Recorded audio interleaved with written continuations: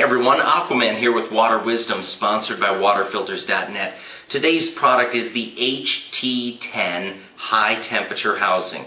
Now obviously a high temperature housing is designed to be used on the hot water lines and this system can handle temperatures in excess of 160 degrees Fahrenheit. So extremely hot water. Most residential applications won't have water any hotter than 140 degrees.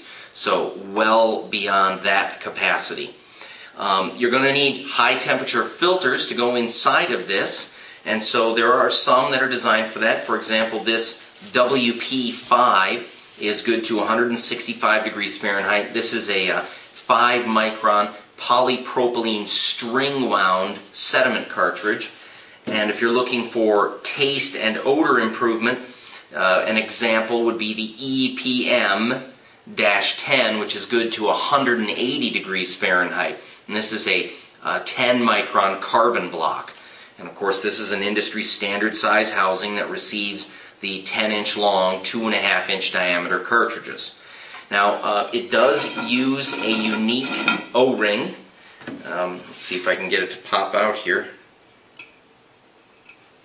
There we go. This is not your typical O ring material.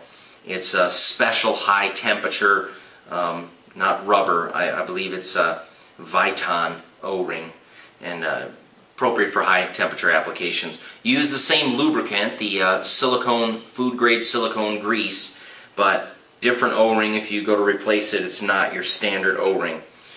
And uh, it has three quarter inch female pipe thread inlet and outlet. And there are lots of applications that you might use this. Um, one method for use is to filter uh, boiler water. If you're getting a buildup of scale, uh, you can capture some of that scale in a high temperature housing like this. Also, uh, those uh, high temperature uh, hot water heaters, um, the kind that are that sit outside and uh, you burn wood or garbage in them, and it pumps the water into pipes that go into the home. in some cases, the water in those systems needs to be filtered, and you need a high temperature system like this. And there are other applications. If you're unable to use a water softener to deal with your scale problem, uh, sometimes you'll get scale particulate that comes out of your hot water heater and it ends up clogging the screens on your faucets and your shower head.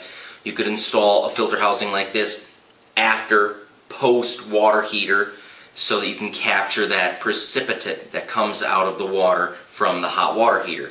So a number of ways that it can be used, but don't try and use a regular housing on a high uh, temperature water line because it will destroy the housing in short order and possibly burst and flood your home. So you don't want that. This is the HT10. I'm your host Aquaman, and thanks for watching.